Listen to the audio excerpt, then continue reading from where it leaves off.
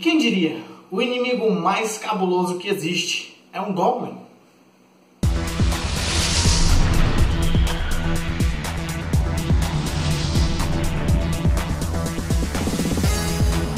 Então, maluco, vamos falar um pouquinho aqui sobre o mangá de Goblin Slayer, que é uma adaptação da light novel de mesmo nome e tal, que é escrito pelo Kuma Kagyu, desculpa, meu japonês é terrível, onde nós temos basicamente mundo de fantasia e tal, tem os aventureiros, pá, interessante, básico. Agora, aqui que vem a parada. Quando os aventureiros começam, eles têm os trabalhos mais simples. Às vezes você tem que subjugar goblins. E é assim que começa a nossa aventura. Nós temos uma party entendeu? Um grupo aí de aventureiros, eles têm que eliminar alguns goblins, só que, incrivelmente, o grupo como ele é inexperiente, os goblins, cara, simplesmente destroem ele. Por incrível que pareça, nem tudo está acabado, porque aparece o Goblin Slayer. Uma das coisas que você deve perceber nesse mangá e também eu acho que na light novel é que nenhum dos personagens tem um nome. Eles são Goblin Slayer, a sacerdotisa, o xamã. Eles, ninguém tem nome, entendeu? Esse tipo de coisa. O que eu acho bastante interessante. Também tem outro mangá que ele conta a história antes dos acontecimentos aqui do Goblin Slayer mesmo, como ele veio a se tornar e tudo mais, essa, essa pessoa que só mata goblins, esse tipo de coisa. Depois de resgatar a garota, ele destrói todos os goblins e tudo mais.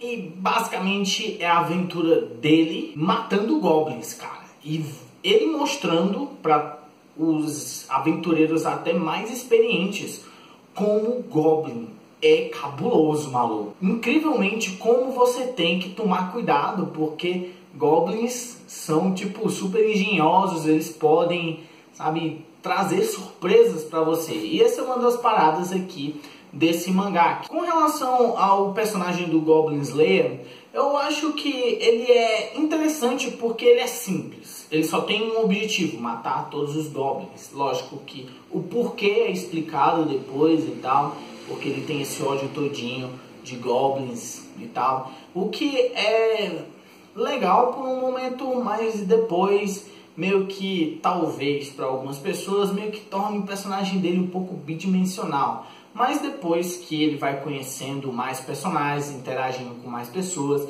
você vai entendendo que ele não é tudo isso, sabe? Ele tem uma coisa a mais, ele tem um, uma camada a mais aí no personagem dele. À medida que a história vai progredindo, você vai conhecendo outros personagens, alguns deles é, realmente eles não aparecem por muito tempo, e aí que tá uma das coisas de Goblin Slayer. Ele é meio Game of Thrones, entre aspas você realmente não sabe se, se, a galera vai sobreviver, entendeu? Você sabe que o Goblin Slayer vai sobreviver. Agora, os outros que estão com ele, nem tanto, ou nem todos que aparecem, por exemplo, fazendo uma aventura, eles vão sobreviver ou realmente vai dar tudo certo com eles e tudo mais. Nem pro Goblin Slayer tudo dá certo. Às vezes ele se torna e se pega aqui em, em uma situação que é super cabulosa, entendeu? Que ele tá ali quase morrendo mesmo.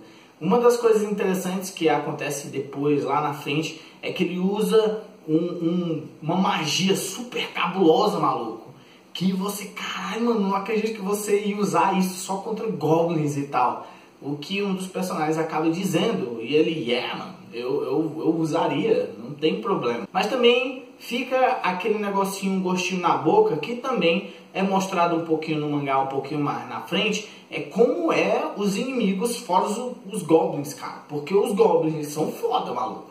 Eles são cabulosos. Imagine os, os lá em cima, entendeu? Dragões, demônios e tudo mais.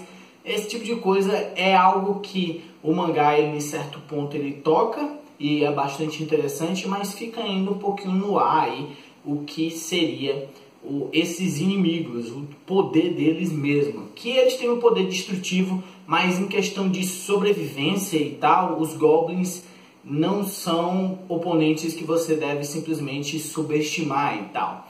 É, é um mangá bastante interessante, cara. A Light Novel eu não sei porque só tem em inglês e tudo mais, português também não, e também, sei lá, em questão de leitura eu não sou muito fã aí de ficar lendo light novel e tal, esse tipo de coisa. Então, eu só espero aí o mangá, que ele é mensal e fica por isso mesmo. Em 2018 vai lançar um anime, o que para mim é um parabéns muito legal, e tomara que seja fiel ao material do mangá. Porque querendo ou não, é uma adaptação. O mangá já é uma adaptação da light novel.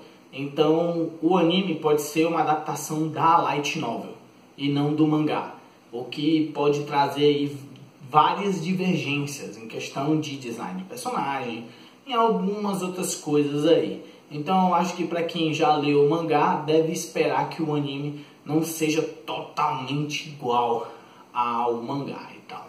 Mas eu acharia bem interessante se fosse, principalmente porque é, ele dá uma sensação do primeiro episódio de uh, Muluv Alternative. Eu vou colocar aqui a imagem para você ter uma ideia do que é em que no primeiro episódio você, pô, que anime genérico de mecha e tudo mais, aí começa a primeira batalha, e pô, todo mundo morre, mano, aí você, caralho, pô.